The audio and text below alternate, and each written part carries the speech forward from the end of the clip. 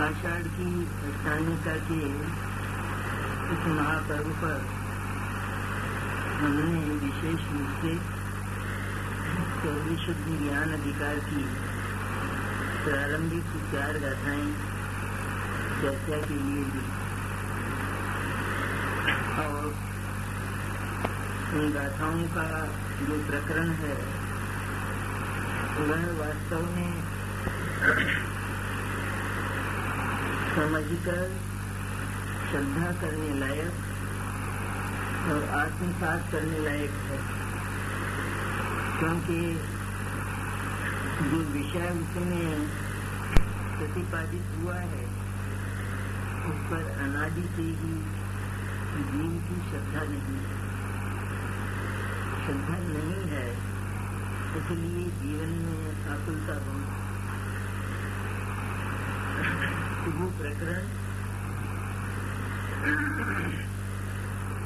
आचार्य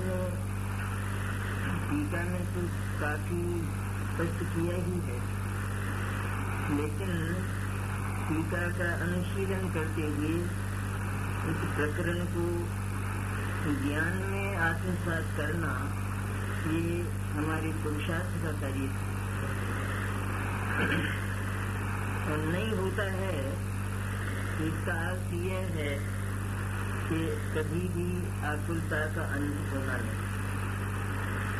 तो प्रकरण आकुलता का अंत करने वाला कष्टों का अंत करने वाला है।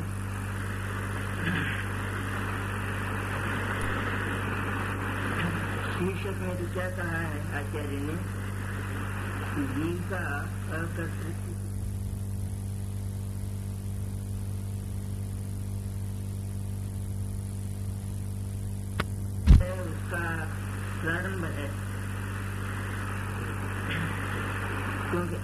एकत्रित्व की जो पराकाष्ठा है, वो तो आगे आई है। लेकिन यहाँ तो प्रारंभ में ही अगर इस बात की श्रद्धा ना हो और इसका परिज्ञान ना हो तो फिर आगे का प्रकरण तो ज्ञान में समाविष्ट हो ही नहीं क्योंकि यदि हम एकत्रित्व की अर्थात पारस्परिक कर्ता कर्म के अभाव को ही स्वीकार न कर पाए तो फिर आत्मा अपने परिणामों का भी कर्ता नहीं है। यह बात तो असंभव हो जाए श्री यहाँ के आचार्य ने जीव के अकर्तृत्व का प्रारंभ किया और उसके लिए बड़ी सुंदर तर्क दी। इसी प्रकरण में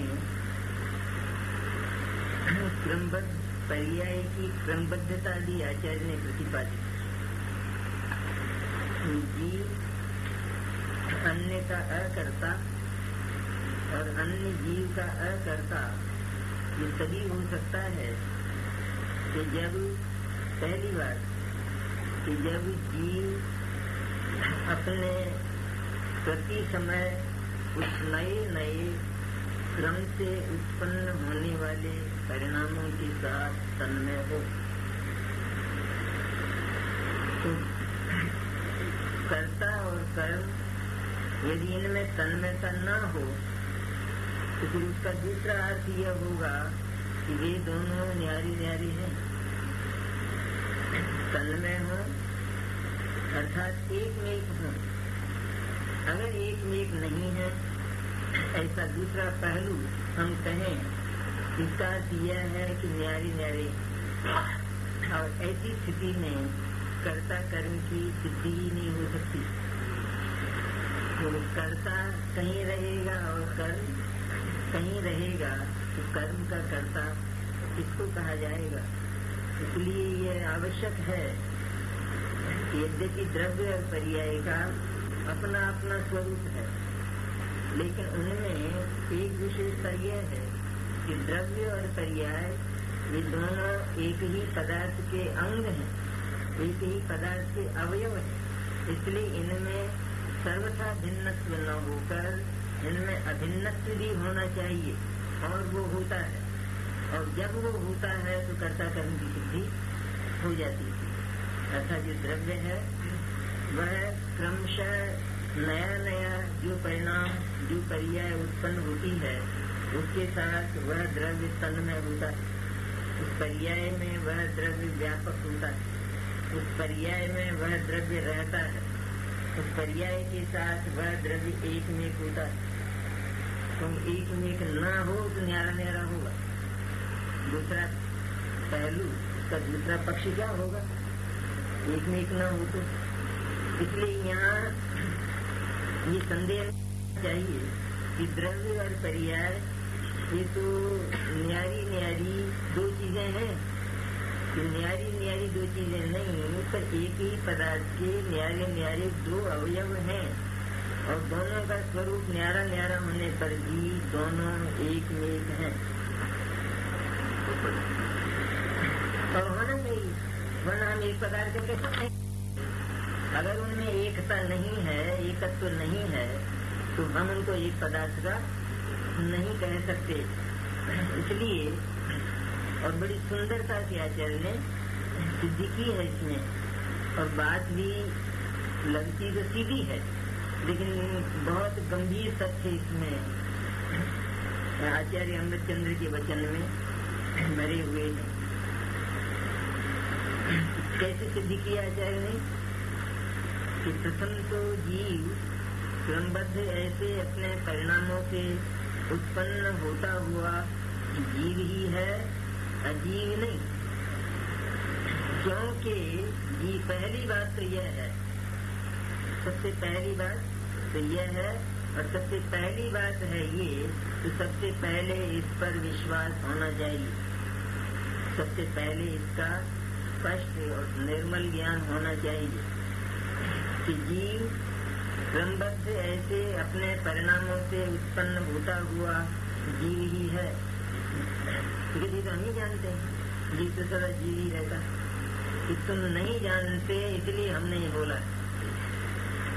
अगर तुम जानते होते तो हमको ये कहने की आवश्यकता नहीं थी। लेकिन वो जीव कब रह सकता है कि एक तो ये, कि जो परिणाम एक के बाद एक क्रमशः होता है। तो परिणाम का स्वरूप यह है कि वो सारे के सारे अनंत भविष्य में होने वाले जो परिणाम हैं, वे एक साथ एक समय में नहीं होते। होते हैं। ये सारे हो जाएँगे तो फिर बाकी क्या रहेगा कार्य? द्रव्य तो निष्क्रिय हो जाएगा। एक के बाद एक होने वाले जिस परिणाम को वो द्रव्य प्राप्त होता है तो उस परिणाम के साथ, उस पर्याय के साथ वह द्रव्य तन्मय हो जाता है। उन सबके साथ तन्मय नहीं है अभी क्योंकि वे तो आगे होने वाले हैं। आगे होने वाले हैं, यह बात आज ही निश्चित है। आज ही नहीं, बल्कि अनादिकाल से निश्चित है। और वो किस तरह होने वाले हैं कि एक के बाद एक होने वाले? तो एक के बाद एक होने वाले उस परिणाम के साथ उस पर्याय के साथ द्रव्य तन्मय हो जाए। तब द्रव्य उस परिणाम का कर्ता कहा जाता है और वह परिणाम उस द्रव्य का कर्म कहा जाता है। इस प्रकार कर्ता और कर्म की सिद्धि एक ही पदार्थ में होती है। इस तरह एक पदार्थ में कर्ता कर्म की सिद्धि करके आचार्य ने पारस्परिक कर्तृत्व का निषेध कर दिया। कि जीव, वो अजीव का करता है और अजीव जीव का करता है, क्योंकि जिस तरह जीव के ये परिणाम क्रमबद्ध, क्रमशः एक के बाद एक बद्ध क्रम से होते हैं और उस होते हुए परिणाम के साथ वो तन्मय होता है। उसी तरह अजीव भी अपने उस क्रमशः क्रमबद्ध होने वाले परिणाम के साथ तन्मय होता है। इस तरह अजीव अपने अजीव परिणाम का करता और जीव अपने जीव परिणाम का करता। वो परिणाम भी जीव ही है। वो परिणाम जीव से न्यारा नहीं। उस परिणाम को जीव बोलना। सब अनन्यता होगी। अगर ये कहोगे, ये तो पर्याय है और ये द्रव्य है, ये तो न्यारे न्यारे हैं तो फिर कर्ता कर्म की सिद्धि नहीं होगी। पर वो परिणाम जीव ही है। अन्य नहीं, कुछ नहीं। क्योंकि जीव कहाँ नहीं है उसमें? कहाँ क्या नहीं है? बल्कि वो जीव का परिणाम होने से जीव ही है। और इसी प्रकार अजीव भी अभी आगे चर्चा करेंगे अपन। इसी प्रकार अजीव भी क्रमबद्ध अपने परिणामों से उत्पन्न होता हुआ अजीव ही है, जीव नहीं।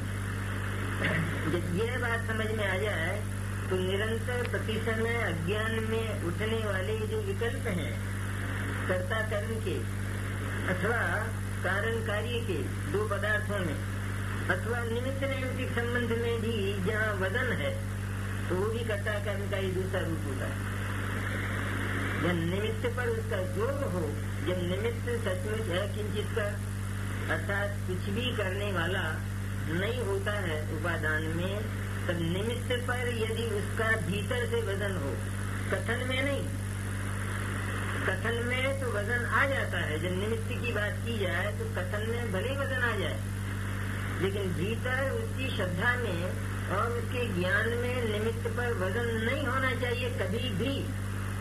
अगर निमित्त पर वज़न आ जाए तो फिर उसने निमित्त निमित्त संबंध से इनकार करके उन दो पदार्थों के बीच में कर्ता कर्म भाव स्वीकार किया और ये महाज्ञान और मिथ्या दर्शन।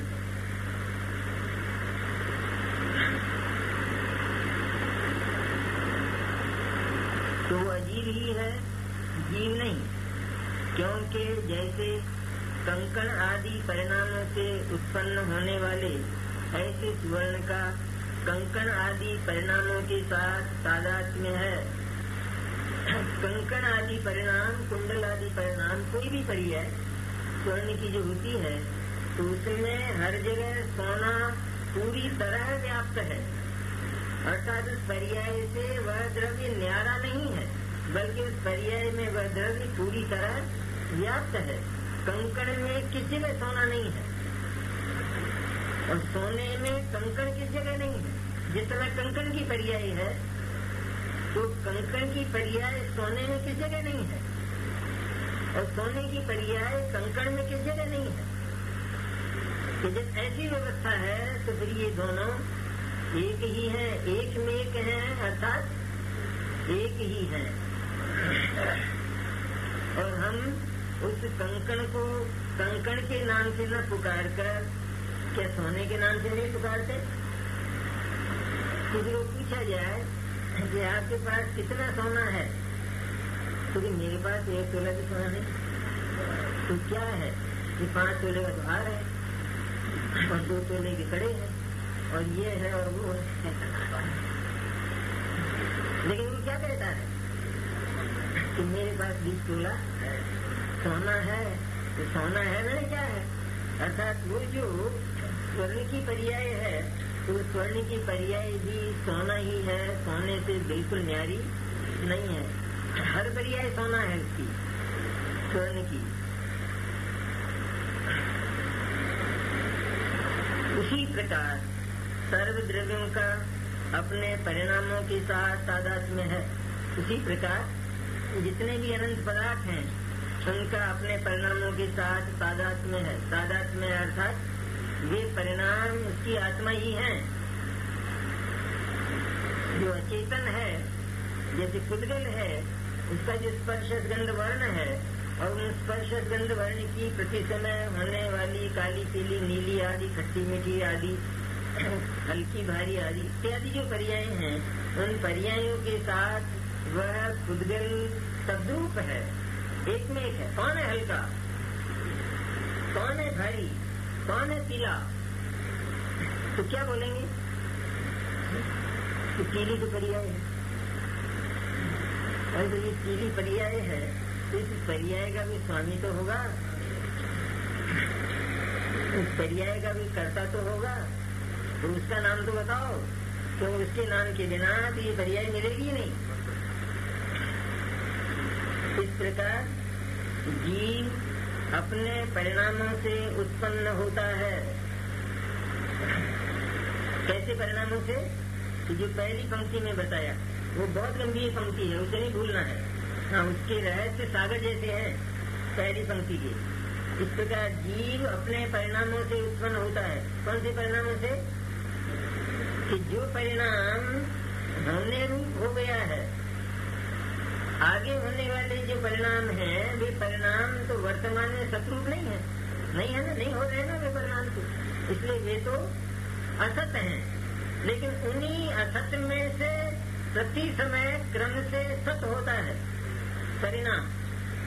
और जो परिणाम सत होता है तो उसी के साथ वो द्रव्य व्याप्त होता है। उसी के साथ वो द्रव्य तन में होता है। तन में होता है मैंने वह अपने परिणाम से उत्पन्न होता है। उस द्रव्य को का यदि उत्पन्न होना न कहा जाए तो इसका अर्थ यह है कि हम उसे उसके परिणाम से तन्मय नहीं करना चाहते।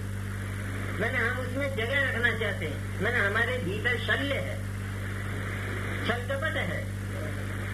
कि जो उसका परिणाम है, उसके परिणाम के साथ हम उसे तन्मय नहीं करना चाहते।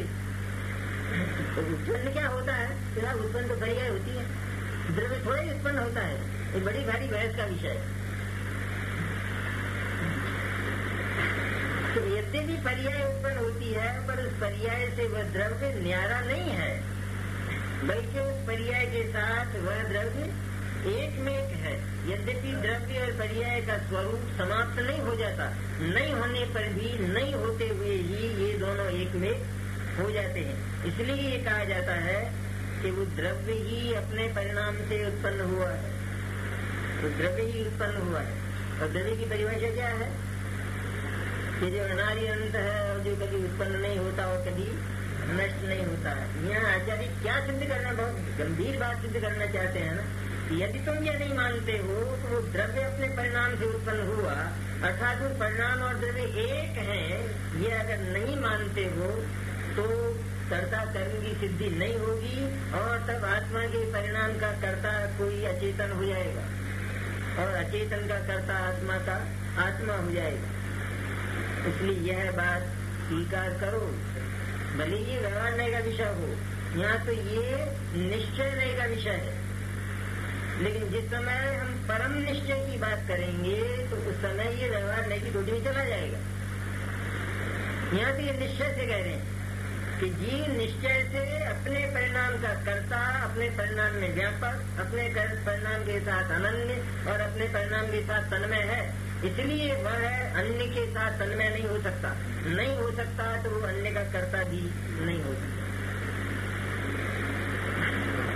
तो इस प्रकार जीव अपने परिणामों से उत्पन्न होता है। तथा भी उसका अजीव के साथ कार्य कारण भाव सिद्ध नहीं होता। कार्य कारण भाव तो है ही नहीं, लेकिन कार्य कारण भाव सिद्ध भी नहीं होता। क्यों नहीं होता? क्योंकि जो जीव है, वो तो अपने परिणाम के साथ एक में होकर वर्त रहा है ना।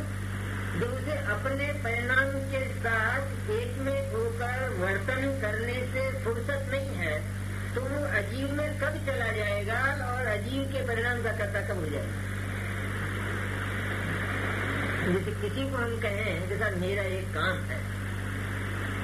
और वो आपको करना है। तो वो ये कहता है कि मुझे तो मरने की भी फुर्सत नहीं एक मिनट। की यहाँ जब जीव को ये कहा जाता है तो ये क्या बात है? तुम्हारा काम तो तुम करते ही हो, लेकिन ये दुनिया भी, क्योंकि तुम तो समझदार हो तो तुम्हारी समझ ही अगर ये दूसरे का भी काम करे, दूसरे का उपकार करे, दूसरे की दया करे तो क्या दिक्कत है इसमें? तो जीव कहता है, मुझे तो मरने की भी फुर्सत अपने काम से।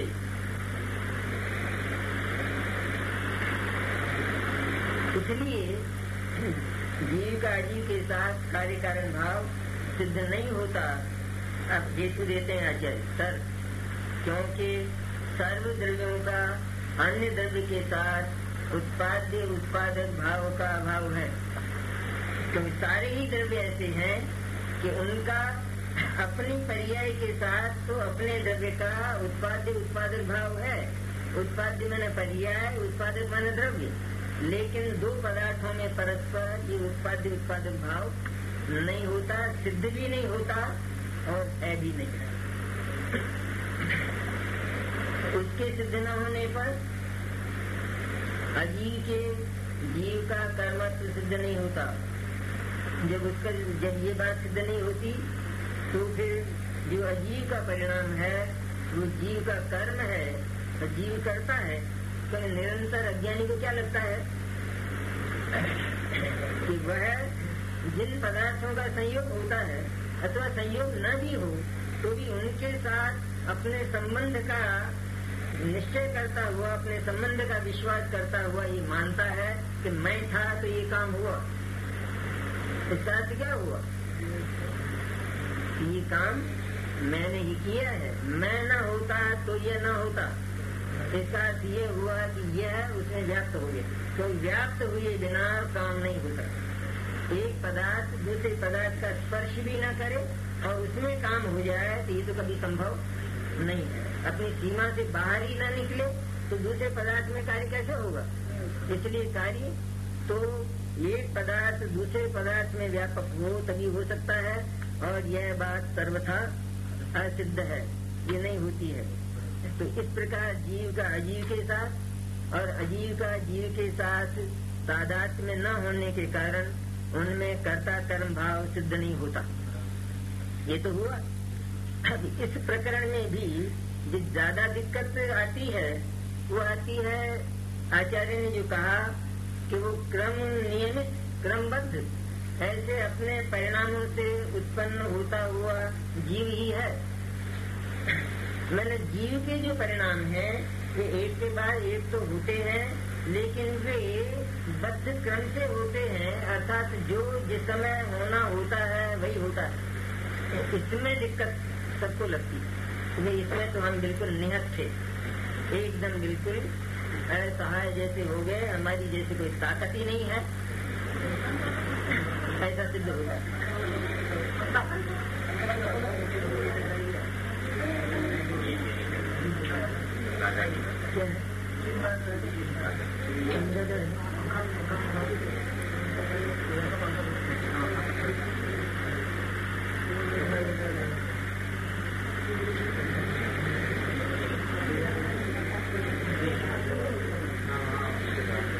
और उसके सिद्ध न होने पर कर्ता कर्म की अन्य निरपेक्षतया सिद्धि होने से जीव के अजीव का कर्तृत्व, अजीव का कर्तृत्व का सिद्ध नहीं होता। जीव के अजीव का कर्तृत्व सिद्ध नहीं होता।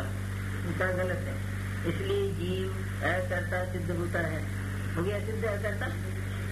अर्थात जीव अपने परिणाम में तन्मय होकर अपने परिणाम का ही करता है और वह अपने परिणाम में तन्मय होने के कारण मैंने जो परिणाम अपने क्रम से आता है तो जीव उसमें तन्मय हो जाता है।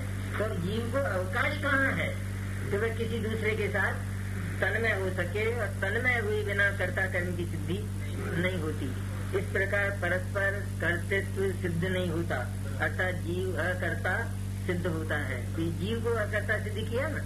है तो सभी अकर्ता परस्पर। लेकिन जीव को अकर्ता इसलिए सिद्ध किया कि जीव अपने आप को कर्ता मानता है। तो मैं क्या नहीं कर सकता? ऐसा जीव का अभिमान होता है। और उसमें भी मुख्य रूप से ये जो एक के बाद होने वाले परिणाम वे अपने नियत क्रम में होते हैं, यह बात जीव को ज्ञान में स्वीकृति नहीं होती। क्योंकि इसमें जीव को ऐसा लगता है कि मेरी तो सारी शक्ति और मेरा सारा पुरुषार्थ समाप्त हो गया, बेकार हो गया। इसलिए इसे पहले अच्छी तरह से सिद्ध करना चाहिए। पंक्ति में जो कहा है आचार्य ने कि क्रमबद्ध उत्पन्न होते हुए अपने परिणाम से जीव उत्पन्न होता है। ये कहा ना? तो पहले परिणाम का स्वरूप हम देखें। तो जो परिणाम है, अर्थात पर्याय है, उसको उर्दू प्रचय कहते और जो गुण है, उसको तिरक प्रचय कहते हैं। तो तिरक प्रचय मैंने जो गुण है, वे तो सारे के सारे एक साथ रहते लेकिन जो पर्याय हैं, अनादिकाल से अनंत भविष्य में होने वाली जो अनंत अनंत पर्याय हैं, वे सारी की सारी एक समय में एक साथ नहीं होती, बल्कि वे क्रम से होती हैं। वे एक के बाद एक होती हैं। तो जब पदार्थ में पर्याय का एक ऐसा ऊर्ध्व क्रम है, ध्यान से जरा समझने की है बात तो पर्याय को ऊर्ध्व प्रत्यय कहा, वो एक बहुत गंभीर है बात। मैंने पर्याय एक के बाद एक होती है। एक के बाद एक होती है, अर्थात वर्तमान में तो केवल वर्तमान पर्याय हो रही है, लेकिन आगे की पर्याय नहीं हो रही। तो भी उसे जो होना है तो वो एक के बाद एक होना है। और यह बात आज ही निश्चित है। आज ही निश्चित क्या है? अनादिकाल से निश्चित। है जब ये बात निश्चित है कि उसे एक के बाद एक होना है, अर्थात उन पर्यायों का गुणों की तरह ऐसा कोई जत्था नहीं है कि उनमें से कोई भी पर्याय उचित कर किसी भी समय आ जाए। ऐसा कोई जत्था नहीं। जत्था हो तब तो ये हो सकता है। लेकिन पर्याय का स्वरूप है ऊर्ध प्रत्यय मैंने एक के बाद एक क्रम पूर्वक होना। जब एक के बाद एक क्रम पूर्वक होती है तो फिर जो होती है उसका एक निश्चित क्रम है या वो अक्रम से होगी? क्योंकि ये तो आज ही निश्चित अनादिकाल से निश्चित है कि एक के बाद एक पर्याय होती है। तो एक के बाद एक जो पर्याय होती है तो वो उसी समय की निश्चित हो गई नहीं हो गई। और जब वो, अगर वो उसी समय की निश्चित न हो तो फिर वह सत्य नहीं कहलाएगी ये दूसरी बात। अगर वो उस समय की निश्चित न मानी जाए तो फिर वो सत्य नहीं कहलाएगी, क्योंकि उसका अपने समय पर होना, यही तो उसका सत्य है। यही तो उसका अस्तित्व है। अगर वह अपने समय पर न हो, और उसके स्थान पर कोई दूसरी पर्याय दूसरे समय में होने वाली पर्याय उसके स्थान पर हो गई। तो इसका अर्थ ये हुआ कि उस सत्य की जगह असत्य का जन्म हो गया। और असत्य का जन्म तो कभी होता नहीं है, क्योंकि ये सिद्धांत है। तो जो पर्याय अपने समय का सत्य है, उसके स्थान पर किसी दूसरे समय की पर्याय का होना, वो तो असत्य का होना है। और इस तरह असत्य के होने का सिद्धांत अगर स्वीकार कर लिया जाए तो जड़ के चेतन होने में और चेतन के जड़ होने में कोई बाधा नहीं रही। इसलिए ये बात निश्चित करने लायक कि एक के बाद एक जो क्रम से अनंत भविष्य में चले जाए हम, अनंत भविष्य में। तो अनंत भविष्य में यदि उनमें से एक भी पर्याय का क्रम टूटे टूटा तो है ही नहीं, ये तो आचार्य कह चुके कि वो तो एक के बाद एक होना है, वो क्रम टूटना नहीं है। लेकिन यदि क्रम टूटे तो द्रव्य का ही नाश होता है। इसलिए क्रम कभी भंग नहीं होगा और उस पर्याय के सत रहने के लिए ये आवश्यक है कि एक के बाद एक वह जो होने वाली है, वही हो। और क्योंकि वो पर्याय पड़ी हुई नहीं है, दूसरा तर्क क्या है? कि वे पर्याय गुणों की तरह पड़ी हुई नहीं है, तब फिर एक के बाद जो दूसरी पर्याय हुई तो वो पर्याय उसके बाद होने वाली थी, वही हुई या कोई और दूसरी हो जाएगी? वही होगी क्योंकि वो पड़ी हुई नहीं है पर्याय लेकिन वह तो उस समय का सत बनकर आई कि जो वर्तमान में भविष्य की पर्याय असत हैं तो वे भविष्य की पर्याय जब वर्तमान बनती हैं तो सतरूप होती हैं। तो वो सतरूप हुई तो उसका जो समय है, उस समय यदि हो तो वे वो सतरूप होना हो सकेगी, सत्य कहलाएगी, अन्यथा वो असत का जन्म होगा। और यह बात अनंत भविष्य के लिए सुनिश्चित है। जब सुनिश्चित है तो उनका एक ऐसा नियत और व्यवस्थित क्रम है कि उसमें कभी फ़र्क नहीं पड़ सकता, अर्थात कभी भी आगे और पीछे नहीं हो सकती। नहीं हो सकती। जैसे एक, जैसे परीक्षा होने वाली है। तो परीक्षा भवन में परीक्षा तो होने वाली है तीन दिन बाद। और परीक्षा भवन में रोल नंबर आज ही लगा दिए गए। तो ये जो रोल नंबर लगाए हैं तो ये रोल नंबर पर बैठने वाले जो लड़के हैं, वे तो तीन दिन बाद आने वाले हैं। लेकिन उनका क्रम आज निश्चित है या नहीं? कि कौन से रोल नंबर पर कौन से लड़के को बैठना है? निश्चित है। आगे पीछे होंगे? तो कभी हो ही नहीं सकते हैं। और उनका ये क्रम आज ही निश्चित है, लेकिन उनका आज होना निश्चित नहीं है। मैंने वो आज हो जाए ऐसा नहीं है। क्रम उनका निश्चित है। तो तीन दिन के बाद जिस समय वे सतरूप होंगे तो प्रत्येक लड़का अपने अपने क्रम में बैठा हुआ नज़र आएगा। घड़ी है ना, घड़ी? घड़ी में इस समय नौ बजे। और बारह घंटे के बाद कल सुबह के नौ बजने वाले हैं। ठीक है? अब देखना यह है कि उस घड़ी को सवेरे नौ बजे तक जो पहुँचना है तो उसका क्रम निश्चित है या अनिश्चित है? क्या अनिश्चित नहीं हो सकता? और हम कर दें तो? कि हम कर दें अथवा उसमें कोई अनिश्चित क्रम दिखाई दे तो उसे घड़ी कोई नहीं कहेगा। तो कोई पूछेगा, क्या टाइम हुआ? तो नौ के बजाय दस बताएगा तो कहेंगे, चूनादानी है। घड़ी नहीं है। इसलिए घड़ी सवेरे बारह घंटे बाद, जो सवेरे के नौ बजे तक पहुँचने वाली है तो उसके प्रत्येक बिंदु पर सुई किस समय आएगी ये निश्चित है या नहीं? और उसका बिंदु भी निश्चित है या नहीं? तो उसका बिंदु निश्चित होने पर भी सारे आगे के बिंदु निश्चित होने पर भी वर्तमान में तो वो एक ही बिंदु पर है। लेकिन एक बिंदु के आगे कौन सा बिंदु है ये भी निश्चित है या नहीं? और उसके बाद कौन सा बिंदु है ये भी निश्चित है या नहीं? और उस घड़ी की सुई को उनमें से प्रत्येक बिंदु पर किस समय जाना है ये निश्चित है या नहीं? ये पूरा का पूरा निश्चित है इस क्रम को आज तक कोई भी भंग नहीं कर सका। भंग नहीं हुआ। इसी प्रकार पर्याय का एक सुनिश्चित क्रम उसका प्रत्येक बिंदु है एक एक समय का। और उस बिंदु पर वह जिस समय उस, उस पर्याय का समय आएगा तो वो पर्याय एकदम उपस्थित हो जाएगी। आज वो पर्याय नहीं है। देखिए कैसा विज्ञान है ज़बरदस्त कि आज वो पर्याय नहीं है बिल्कुल। उसका कहीं अता पता नहीं है, ढूंढो तो। लेकिन जिस समय उसका क्रम आएगा तो वो पर्याय उस अपने क्रम में, अपने बिंदु पर, अपने समय पर तुरंत उपस्थित हो जाएगी और द्रव्य उसमें व्याप्त हो जाएगा। द्रव्य उसके साथ तन में हो जाएगा। इस प्रकार, इस ऊर्ध्व प्रत्यय में, अर्थात पर्याय का जो स्वरूप है, एक के बाद एक क्रमशः होना, इसमें क्रम भंग होता ही नहीं है, हो ही नहीं सकता है। इसलिए पर्याय क्रमबद्ध और क्रम सिद्ध हो जाती है। उसमें आगे पीछे होने का की न तो किसी में शक्ति है। कोई कर नहीं सकता क्योंकि परस्पर करते तो आचार्य सिद्ध कर, चुके हैं। इसलिए परद्रव्य तो उसके क्रम को भंग कर ही नहीं सकता लेकिन द्रव्य भी चूँकि उस जिस परिणाम का समय है उसके साथ वो तन्मय रहता है। पीछे के परिणाम के साथ तन्मय नहीं और आगे के परिणाम के साथ तन्मय नहीं तो उसके द्वारा भी क्रम भंग करने का कौन सा अवसर है? कोई समय नहीं। और वो क्रम भंग क्यों करे? क्योंकि वो तो उसकी पर्याय है।